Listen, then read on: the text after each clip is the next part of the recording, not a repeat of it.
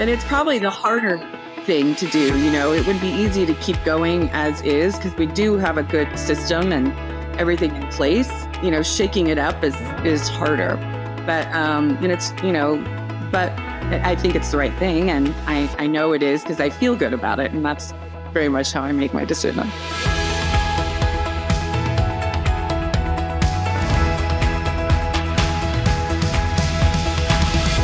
Everybody, to the Business of Luxury Weddings podcast. Man, we have a, a good one today, one of our favorite humans, truly. The Hmm. incredible Lindsey from By Bello. So, welcome, Lindsey. Thank Um, you big, You know, we're big fans. So, so yeah, Well, no, let's chat. It same over here. Uh, long time listener, first time caller, I guess. So I love big fan of you guys always, um, and I'm honored to be here. Thank you. yeah. All right. Yeah, we appreciate you being here. Can you just take five, two minutes, two five minutes, and tell us a little bit about? I mean, we obviously we know you. We've been working with you in Colorado for many years. Lucky us. Just give us a quick overview of of what what is By Bello? Sure. Um, so I um, um, ha- wedding and event planner. Uh, By Bello is a wedding and event planning company. Currently, we also offer floral design, and we have a new sister company that we launched last fall that offers Right. luxury tabletop rentals. Yeah. Um, I'm a Colorado native and have been uh, in this market for about 18 years now in different capacities, and I've had my business for 10. Um, we as much as I would love to work all over the world, we primarily work in the Mountain West, and I'm trying to kind of really embrace that in the last oh, yeah. couple of years. You know, we we love to kind of be up here, and um, I have a great team that works with me that I've been able Yeah, to do. to keep for a long time. You guys know them, and um, yeah, I mean, we we're based in the Denver area, but we mostly find ourselves in the mountains and the surrounding areas. Yeah. Every every couple of years, we get to shoot you and your team. We've done this twice now. I just want to Yeah. say that's a, such a highlight for me always to hang out with all of you ladies and oh. shoot Oh. and get all like, I just love it. It's great. It's so fun for us too, and mm-hmm. I I mean. It's we can never have anybody else shoot us now. We're really I like Well, it. you you guys do it properly, right? Like Yeah. it, it's like a whole. It's it's a photo shoot with you know we have makeup. There's a studio. There's all these Oh, things, and yeah, it it. I that- But, You but guys, you guys are so feel great. So fun. All of you, that whole team, right? Because one by one we shoot you. There's so much personality, and then you go to the event with you guys, and it's the same again. Uh, so seriously, well, you- it makes it so easy for us to, you know, translate from, you know, yeah, letting loose in the studio and then getting onto an event. We know you guys a little bit better each time, and Yeah. we've always appreciated and enjoyed those times. So, Yeah. thank you, thank you for That's all definitely- yeah. Yeah, as, as we were talking earlier, I just wanted to mention to the listener, I think this one's going to be a really not that all the other ones aren't good, they all, all of them, but this one I, I think is going to be really interesting for that person who's trying to grow their business. Because as, as we were talking to to Lindsey about growth and entrepreneurship, um, I just started to get excited about um, what we're going to talk about. So, um, Lindsey, t- tell us a little bit about maybe the trajectory of your business over the last six years. Um, how, what kind of growth have you seen, and and what do you attribute that growth to? Yeah. Um, so I'd say the last six years, you know, the first four years is really just figuring it out. And, you know, really that was kind of me, you know, coming into this full time and and realizing the landscape of the space and identifying, you know, where I wanted to be within that. Uh, the last six years, I think I've kind of gotten more settled into this space. I would say Yeah. we're comfortably in the luxury market today and inching towards the ultra luxury market. No, no, no. Um, and you know, the things that I think have helped us to get there is, um, you know, it's a few different things, and it's looked different each, maybe each year, each cycle. You know, kind of each booking cycle when I take the time to kind of identify and set goals and stuff. But um, going to engage has been something that's really great. I remember James, we hung out in Ireland, and I remember, you know, meeting you, and I think from that was when we started doing our first um, team shoot with you and and kind of really identified that we wanted to work together more. Um, we brought floral in house, which was something that was a little bit of an experiment at the time for me. Mm-hmm. Um, one of the girls who had been with me since I started, her background was in floral design, and I wanted to give her more and and see what it would look like for us to kind of have creative control over such a big component over the design of our weddings. Uh, so having that gave me some freedom and flexibility to to invest in our clients and the weddings. You know, I, I would see the potential for a wedding to be something and say, you know, you know, maybe I I'm not as worried about profiting on the floral side of this this mm. wedding because I want to pump it up. I want to yeah. I want to be generous. I want to really see more blooms here. Right. And so before our clients were really able to maybe didn't quite have those budgets that we're working with today, we were able to start making them look that way, uh, which was something that I, you know, did early on that kind of, you know, I guess a, a, fake it till you make it kind of thing. No, it's amazing. I love the thinking. It's so smart. Well, it's, yeah, I mean, it's it's oh, it's, almost smart. like a, a, better version of the styled shoot that photographers oh, really? and planners do, right? But yeah. But we're always saying with a styled shoot, it's really, really hard if you're trying to to mimic or if you're trying to style a million dollar wedding, it's impossible. Yeah. Right. You, yeah, you can't make a styled shoot look like a million dollar wedding. It's not possible. But now right. you're borrowing from your own resources a little bit, right? With the extra floral, make it amazing. But now you've kind of outgrown yourself a little bit, right? It's switched yes. again. This is the, the earlier conversation in business is always shifting. You're it's always again. shifting. And, yeah. and as a business owner, you really always have to evaluate because now um, so we we've been operating that way, doing floral design in house, and it's been mm-hmm. great. But it is now it's a big mm-hmm. operation. I mean, you know, the weddings we do are big. They're at the tops of mountains, and we're yeah. you know overnight hanging however many hundreds of pounds of greenery from the ceiling, and um, it's just a, a, big team and a lot of stuff. And um, we also last year I decided to start a luxury tabletop rental company because yeah. I just felt like there was a huge hole in the market here um, and you know, our clients are coming mostly from the coasts, you mm. know, New York, mm. California, or you know, the southern states like you know, Texas is a big draw for us. And they see all these beautiful things. Like all these other markets have these great resources yeah. and rentals, and um, they just haven't made their way here to Colorado yet. So we were spending a fortune to truck them in from out of state, and it started to feel silly. And I even had one client saying, you know, what if I just buy these? It will be less expensive for me to purchase all the china yeah. I want. And then, you know, I'll give them to you for a slam and deal. And that was kind of where I thought about it seriously. And then I decided to actually do it. So when we started Bespoke by Bello and we decided to get all these really cool, you know, high design um, tabletop items, I didn't realize that it was going to be, you know, it was going to pull away from or or I guess draw my attention away from the floral port part and and space too. You know, we have this big warehouse and now it's filled with plates and you know it's kind of pressing into all of our vases and candelabras and so I've just been evaluating if we want to continue to do that and um yeah. and I'm leaning towards no. I think this will be our last season of doing the floral design.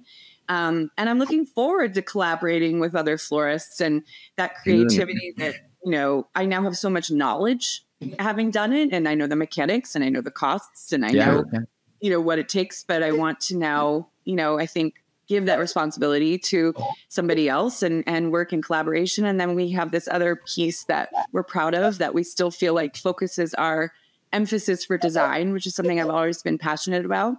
Um, in a different way. Can I, can I ask you how how do you? Um, I have this anal, kind of very analytical part of of my brain that yep. like wants to dig into to certain things.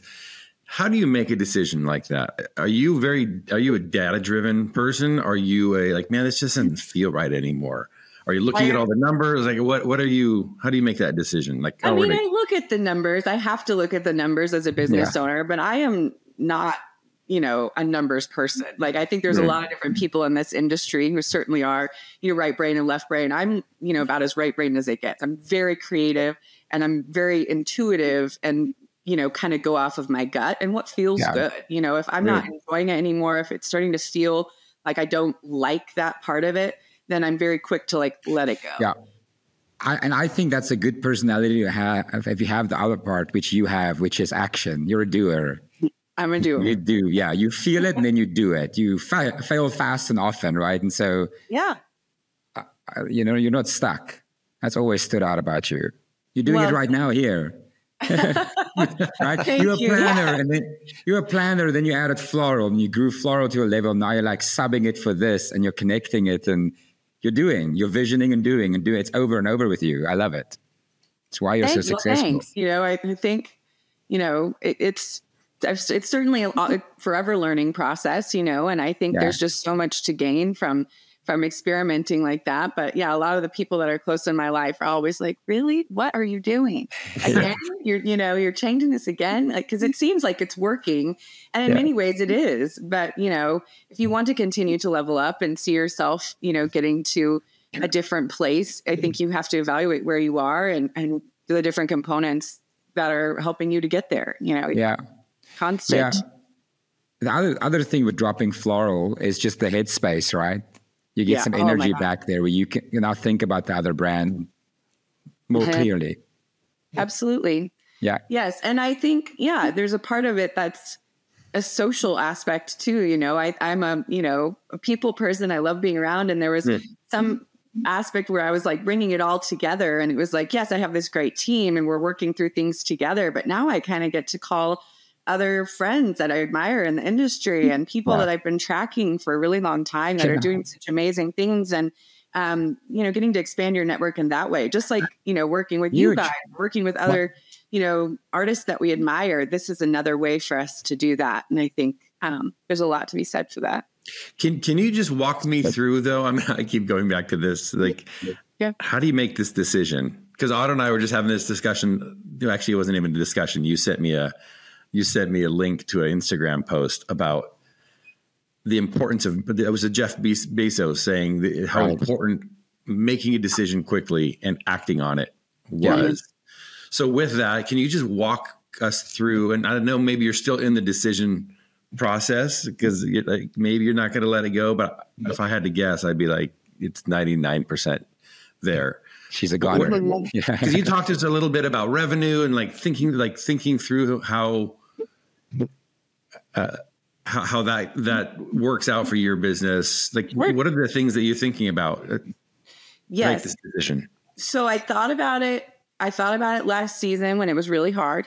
Yeah. I, you know, I thought there were moments where I think about it, you know, when we're like getting vans up to the top of Aspen Mountain and, you know, where we're dealing with, you know, extreme heat and worrying about a product that dies. I thought about it again when I was sending out all of my, you know, tax details and looking at how many freelancers I paid and how many people it takes to kind of keep this machine going. Yeah. Um, I thought about it again when I wanted to, when we were working on the proposals for this year and wanting to make sure that they felt fresh and different and not like something we had done before, which yeah. is hard, you know, when you have a team that's comfortable Patterns, and yeah. you have inventory and things that you want to use again. Like, you know, I didn't, I'm, I'm I don't want to do the same thing again. I don't want to use those same candlesticks. You know, I want to kind of get everything new. And so there's been a few things that I thought about. And then I kind of crunched the numbers a little bit. You know, I am a percentage based planner. You know, that's how we structure our pricing. And um, one of the selling points I always had with Floral in house was that we do not take a percentage on the floral because it's an internal team management thing. I didn't feel right about doing that. And so, when I looked at me taking the percentage off of another florist and about what they would charge, um, the numbers were not that different than what I actually take home. And that was the biggest eye opener. Yeah. um, I think for me to have the benefit of having somebody else run that entirely and just work as a collaborative creative partner um, and still make money was yeah. like, okay, then yeah. I think that feels like a lot less. And then bespoke is growing quickly. You know, I didn't know. I kind of did it selfishly because I just couldn't get what I wanted here. And so I was like, never mind, I'll just buy it and rent it to I'll my clients. But now yeah. all my planner friends are calling us and we have a lot of stuff and a lot of cool events this year. And so we need more space. Um, So, you know, looking at the real estate that we have and what we're working with, that's another factor. And and being passionate about that side of the business, I can really see myself you know, building that up, and um, I'm just not as passionate about the floral anymore. So it's yeah, it was kind of an easy choice. So it was a few different things. It was no, it's it's really helpful to see that laid out like that and go, oh, like, start really, ticking things around. It's yeah, but it wasn't easy, and it's probably the little, harder thing to do. Yeah. You know, it would be easy to keep going as is because we do have a good system and everything mm, in place. You know, shaking it up is is harder, but yeah, um, and it's you know, but I think it's the right thing, and I I know it is because I feel good about it, and that's very much how I make my decisions. Yeah, that's amazing. But I can see how good that new collaboration will be for, for your brand as well. You know, bringing in other partners, more heads at the table, more collaboration. As good as you guys are, it's just different. Yes. Different people. Well, and we're limited. I mean, it's too right. much. You know, I can't, you know, and as our our weddings grow, I mean, I you you know, you've worked with our clients, you know, there there is a lot that is required of me yeah. um, on the day, and I cannot really? be worried when the chuppah falls over. Hours, like, totally, yeah, like it did. Um, and, and, then it's worth pointing. It's worth pointing out, like you're not closing the floral because it's not succeeding. You guys are amazing at it. I was working oh. through some galleries again. Your floral is ridiculous, like world incredible. So you're letting something go that's good, that's successful, that's profitable mm-hmm. for something better, something new, you know? I, or different. Yeah. Yeah. Thank you for saying that. I mean, that means no, a lot coming from you guys. I truly. know you work with the best, but um, yeah, I, I, it, it has been successful. And last year was the best year we've ever had. You know, yeah. it really was great. But it also feels good to kind of go out on top and not let it get to the point where you're like, it's really not working or it feels even more difficult. Um, you have to crash it. somebody else felt that it was difficult for us, yeah. you know, because it did, this last year did require a lot of us. Um, and I'd never want that to be something that the other creative partners feel like it's taking away from our primary goal, which is being, you know, expert planners or, you know, from our clients. So I'm curious with the new, sorry, James, with the new headspace, uh, are you guys going to branch this out a little bit? Are we going to get to work with you internationally, you know? I don't know yet. Um, I think there, I hope know? so. Um, yeah. You know, I think one of the things when I did this rebrand this past year, I worked with a wonderful um, PR company in Good Company, and they were yeah. so wonderful to really help um, identify where we are today, where we exist in this space, and um, what we can really kind of lean into. But one of the things that they helped me to realize is that we really are, you know, kind of experts in the West, and um, I think as hard as that was for me to be like, but wait, you know, I, I no, want to do a yeah. Como wedding and I want to go yeah. to Paris and do these beautiful things we see our friends doing. But, you know, this is also a destination that many people yeah. want to be. And, you know, we're fortunate to have Aspen kind of be our home Incredible. base and in our backyard. And so really I'm trying to kind of, I guess, lean into that. And, you know, we love the Western welcome parties and they're, yeah, they're we don't see those going anywhere. Our clients always want them. So, um, for that. now, I think we're, we're leaning into that, but it does give us more freedom. Part of the reason we said that was because it would allow us to drive our floral to any of these destinations and drive our rentals to any of these destinations. Mm. By eliminating floral, we do have a little bit more um, mobility. So I would yeah. say, you know, if you guys, if you need a planner in Europe, call me. I love how clear that is to you, though, the single mindedness of it. You're like, no, we're, we're this, we're focusing on this the, the craft of it. I appreciate and that. with that, you don't really lose because you have Santa Fe to the south, you have Wyoming to the north, you have Aspen and Telluride to the to the west. Like, oh, you have Nebraska yeah. to the east. Like, how amazing is that? Yeah. We were um, just in Park City. You know, I think there yeah. are there are some really great markets there. Some really Sorry, great markets in Nebraska. Yeah, Sorry Nebraska. for all of you who live in Nebraska. That was a joke. Yeah, cut, cut that. Nebraska. Yeah. Um, but no, all those places please. you mentioned, some of our favorite, you know, locations. Yeah. Yeah, for sure. And not far. I was I was gonna ask you on the letting the floral side go. I, I can imagine you, you said you love the creativity. How do you think that's gonna affect your creativity? I am hopeful that it will give me more space to think about, uh, you know, the other aspects of the wedding, the details and things that we we were always passionate about. But, you know, we love getting into, you know, really designing an entire guest experience and experience. also the you know the fun little pieces that we can even spend more time on custom mm-hmm. fabrication things and right. you know really exceptional escort mm-hmm. displays things like that that are really just us conceptualizing and not having to necessarily execute you know the yeah. eliminating the the mechanics and me having to think through like okay but how do we hang that? And how how heavy is that? And making that somebody else's responsibility yeah. um, i think allows me to kind of think even bigger. Yeah. and um, that's that's what i'm hoping. That's that's what i see in my head today yeah. yeah. Yeah put that creativity into the experience side more because you're not dropping floral. You have amazing p- partners doing that now, right? So, oh, right. Right now, you have headspace. You have time to envision the experience and be creative with that. And being able yeah. to pull, you know, one of the challenges we, we ran into with floral is, you know, not every client has the same aesthetic.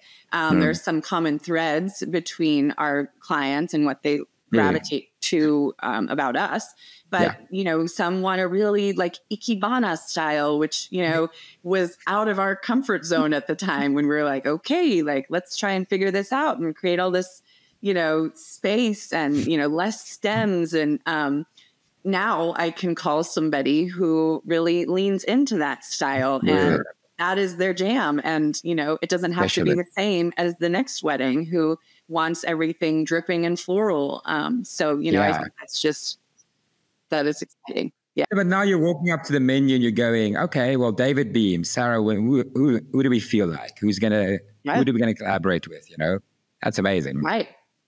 Hmm. Yeah, I was just gonna mention the, the collaboration. That that that's where I know we get excited about, and it just takes the whole event, I think, to another l- layer when like you have headspace, but you still have that creativity and the collaboration to make it the best for the client.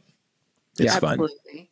And that's where we're at, too, I think it gives us a lot more time and you know freedom to check in with them more and really just be like so hands on because we don't have to worry about this other component which we've previously you know been the ones that are schlepping all of the ceremony aisle florals in front of the stage and you know things like that. Yeah. And more time to have lunch with us when we pass through town that's right that's right let's close the company of course you can have lunch with us Yes, of course. I would do that anyway, no matter yeah. how busy I was. we appreciate that. um, Lindsey, what are you excited for for this year? I'm curious. Little question. Just what are you excited for? Is there a specific event or something uh, other than a new company? other than that, well, I think you know this year is a little bit of a lighter year for us. I know. Okay. Some people in the industry are experiencing, I guess, the ramifications of what they're calling a wedding gap. Um, but and at first it panicked me a little bit you know i'm i'm yeah. so used to kind of staying busy and being on the hamster wheel but now i'm actually excited about the right. headspace and i think that may even be one of those things that um, has caused me to make some of these big decisions because i have all of our weddings under control we are we have one already done actually you know um, yeah and just a handful more, which is a lot less than we normally have. And so yeah. I'm excited about enjoying a little bit extra time with my family and you know enjoying a summer. Um, but yeah, um, and I think you know just really taking this time to to be so intentional about what we're doing next. Um, I think sometimes when you're so in it, you don't get to see you know exactly where you are or, or you know take that time to assess and maybe raise your prices or you know think about right. where you want to go or try and you know manifest and cultivate um, a wedding in one of these markets where we haven't been yet. Um,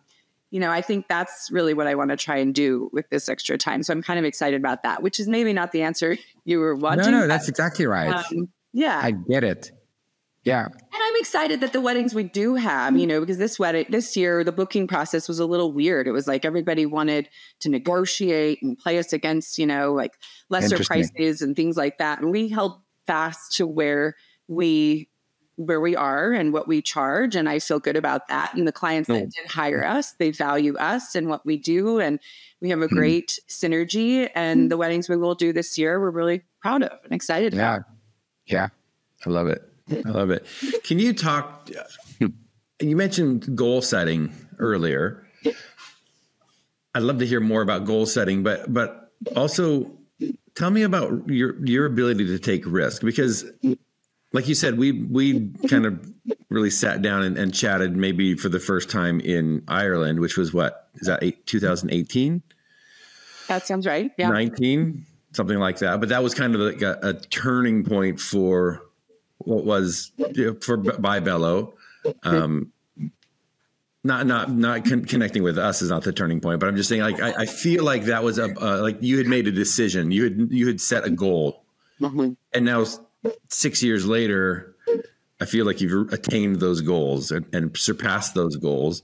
Oh, no doubt. How, how do you go about taking risk? Because there's no doubt in doing what you've done to go, you know, to with the trajectory of your business, you've had to take risk. And I hear like with the new business, shutting down another one, you're taking risk to do these things. How do you assess risk? How do you how do you go about taking on that risk? Because that's a big question mark for people. I hear it all the time, like, "Oh, it's so scary!" Like, and then the, the, you overthink it, and then you it, you overthink it into inaction, and like, yeah. oh, I'm just going to not do anything. Yeah.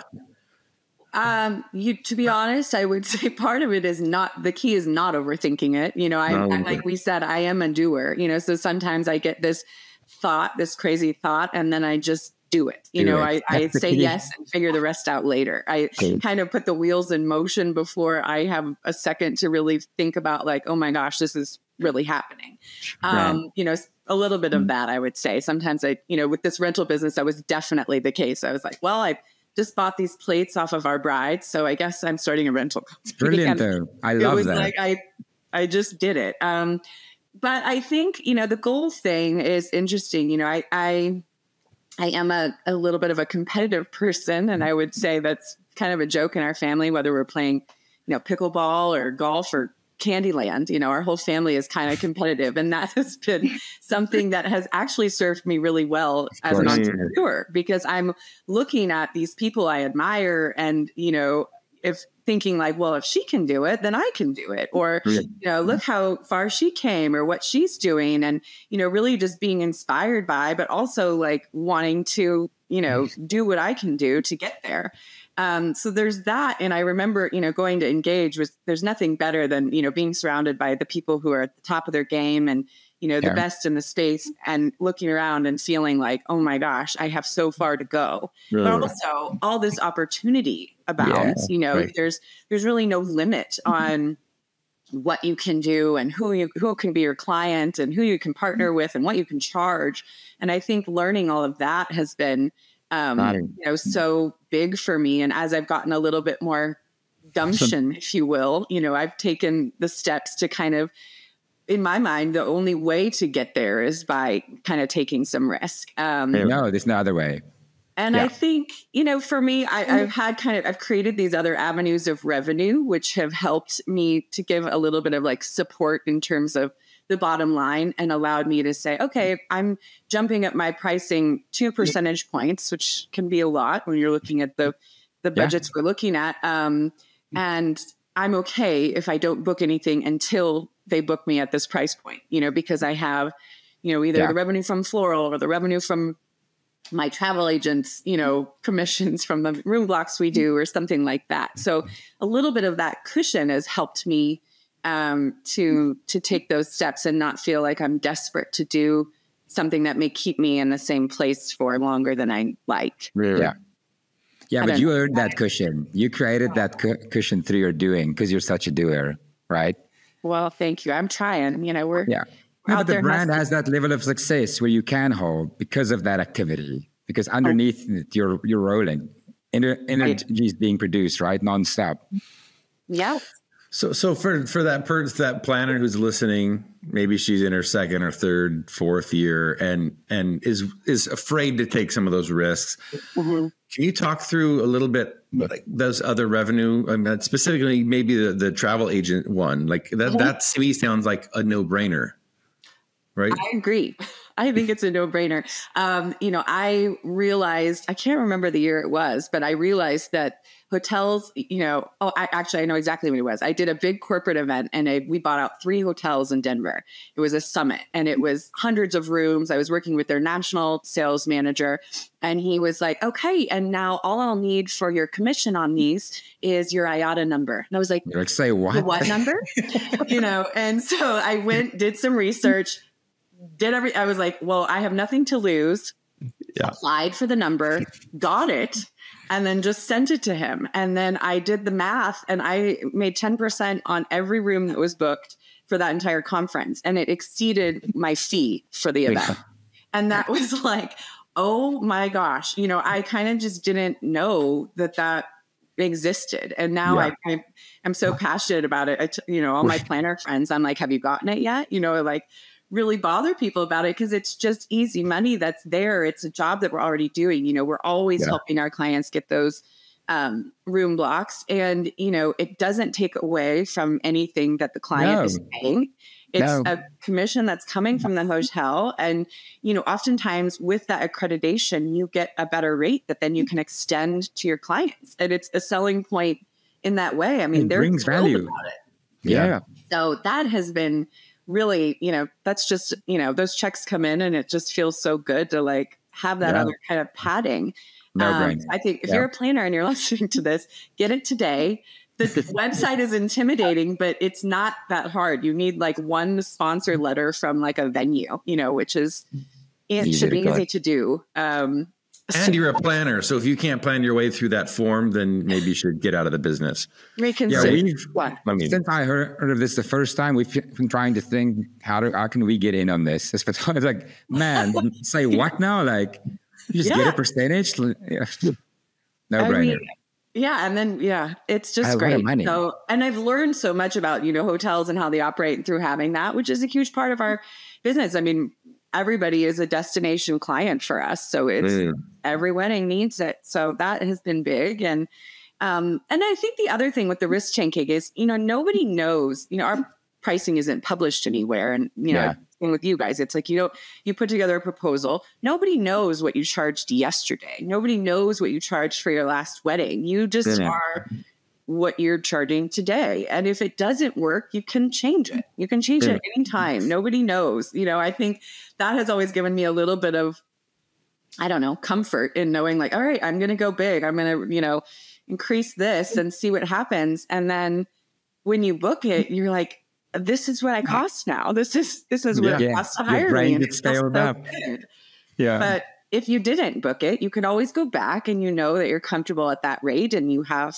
you know the history that that proves that works. Sure. Yeah. Or, or peak seasons where you're like, okay, I'm going to go to that number when when my, the highest booking season. Yeah. And these other times of the year, we'll go back to our last year's pricing and sure go back and forth. I mean that that's what hotels do, right? That's what Absolutely. airlines do. Yeah. There's no there's no harm or or shame. Though I somehow think that, that in the industry, a lot of people have that feeling like, oh, I can't tell people one price and then change it for a different date. Of course you um, can. oh, you can. yes. and you should. And you should. Yeah. You should yeah. because honest truth is it's not the same. The value is different.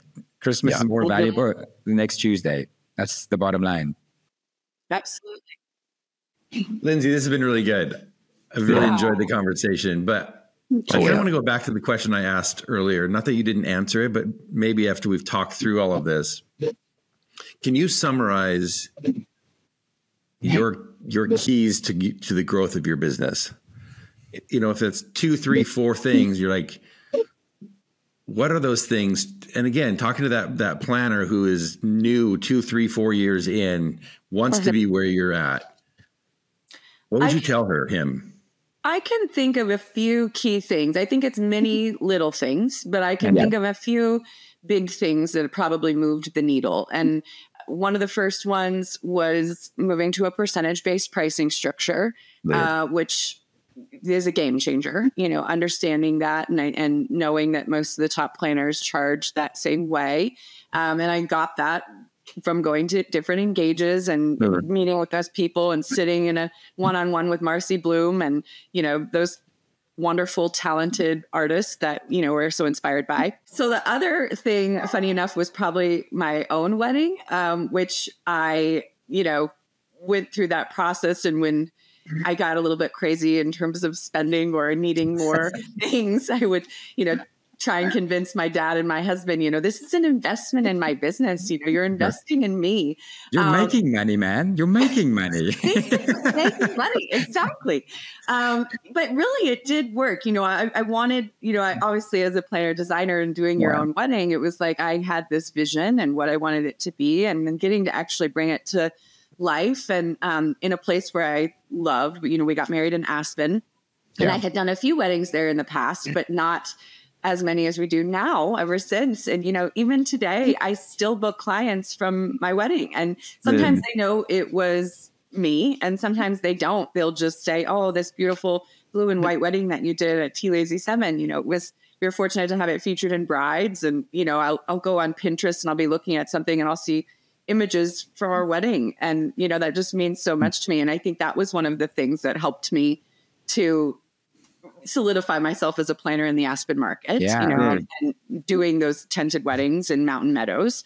Um, and I think, you know, the other things, you know, really connecting with those venues, doing a great job when you do have the opportunity to, you know, the first time we had the opportunity to work at the Little Nell, I just took it so seriously and I, I, you know, did everything that we could possibly do to wow not only our clients and the creative partners we're fortunate to work with, but the venue. You know, we yeah. were we felt like it was such a privilege to be there and sure. one of these, you know, iconic venues. And fortunately, they, you know, liked us and wanted to have us back. And so they put us on their vendor list. And, you know, that is something that has been huge for us, you know, being a recommended yeah. partner of certain venues where often, you know, the client will get engaged and say, Oh, I've always dreamed of getting married on top of the mountain.